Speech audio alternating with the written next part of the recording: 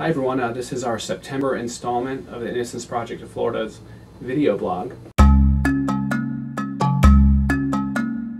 And today we'll be talking about two specific issues, uh, the Supreme Court of Florida's creation of the Florida Innocence Commission, and a really important fundraising event that our board chair, Mark Schlakman, is doing where he'll be climbing a mountain in support of our organization. On July 1st, Chief Justice Canady of the Florida Supreme Court created the Florida Innocence Commission after one of our board members, Sandy D'Alemberte, filed a petition for the creation of the Innocence Commission last year.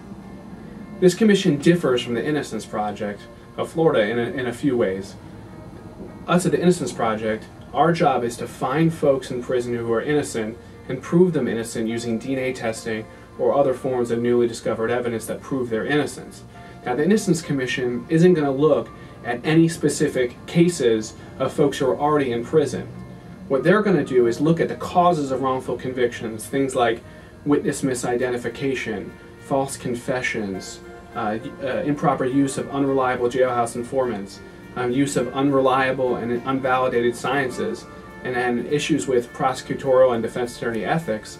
And they're going to see how those things cause wrongful convictions and then try to come up with consensus recommendations for how we can change the way we do things, change the criminal justice process, to prevent wrongful convictions in the future. So the Innocence Commission is going to be a little more policy oriented, where the Innocence Project of Florida um, is more uh, based in litigation of cases that are still running through the system. Now the Commission is going to have their first meeting on September 10th. They have 23 members appointed from all different parts of the criminal justice system. They have prosecutors and defense attorneys, they have uh, judges and other practitioners, law enforcement, and even victim rights activists and academics. And the hope in the commission is that they're going to be able to come up with consensus recommendations for improving the criminal justice system and preventing wrongful convictions in the future.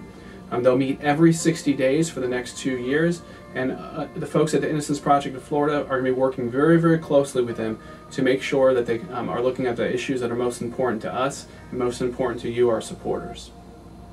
Now, Mark Schlakman, our board chair, has been our board chair for four years. For the second year in a row, he'll be climbing Mount Rainier out in Washington State in support of the Innocence Project of Florida. Now, Mount Rainier is 14,411 feet tall. It's one of the tallest mountains in the United States.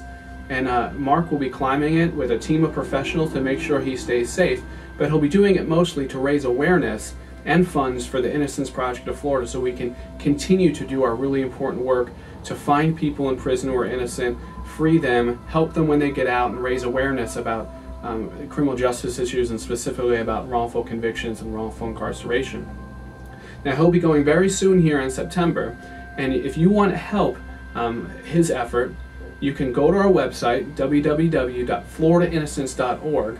Uh, there's a big picture of him on the front of the website. You can click on it, and I'll have more information about the climb and about his effort and you can donate right from there and there's uh, specific suggested donations um, that are directly correlative to the amount of feet that he will be climbing on the mountain. So please go to our website and if you can and support Mark and support him in helping us at the Innocence Project of Florida. Again, we'll be talking to you next month and if you would like to go to our blog, you can do so um, right from our website and do check out our website for other interesting news and happenings in the criminal justice system in Florida. Thanks and we'll see you next month.